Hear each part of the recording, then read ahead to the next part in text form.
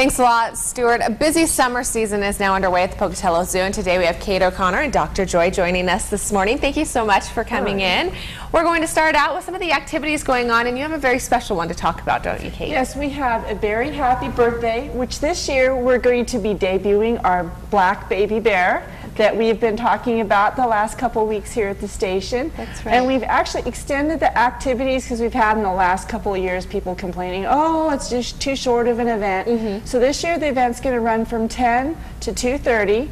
So everybody gets plenty of time to do the activities, and then we're going to do cake right smack dab in the middle for the people, and cake for the bears actually too. Okay. Um, and And when you say cake for the bears, what type of cake do they get? they get a basically it's made out of a giant ice cube, and we put fish in it, and we put um, fruit in it, just all Oh, kinds great. of fun stuff for the animals to eat. That's wonderful. So all ages are invited to come out. Yes, this is definitely an all-age program, and Okay. we sing "Happy Birthday" to the How bears. fun. It's like horses; we're going to just celebrate his birthday, Yeah. even though he's not quite a year old. yet. Okay, And that's of course wonderful.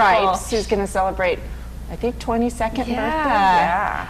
All right. Well, it sounds great. You also have um, a special guest with us, not only Dr. Joy, but also some other little guests that we're going to show you this morning. Tell us a little bit about these special guests. Well, you know, this is the time of the year where there's a lot of babies, and we have a lot of babies at the zoo, and we actually have a few robins at the zoo. Okay. These were rescued by Dr. Joy, and she's having a little trouble catching one. I don't know if uh, Craig can zoom in. Um, I think you can tell them because of the spots on their chest. And we're really fortunate because not all parts of the of the nor- parts of the northern hemisphere have robins. If you go up into um, Canada and, and Alaska, they don't really have robins. It's not that common. Now, what do you suggest people do if they have something like this near their home? Or Well, or there's things like that? first they're supposed to call the Department of Fish and Wildlife. If Okay. it's a songbird, um, Dr. Joy here does do some rescues for songbirds, and we try to rehab them and release them around the zoo or in Mm-hmm. the vicinity. That's wonderful.